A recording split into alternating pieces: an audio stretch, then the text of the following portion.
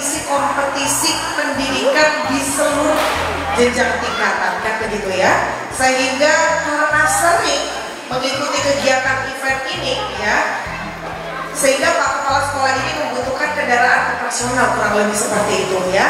Karena sering mengikuti beberapa kegiatan, event, kemudian kompetisi dan lain sebagainya sehingga beliau bersurat ke saya. Karena MTS Gedogong ini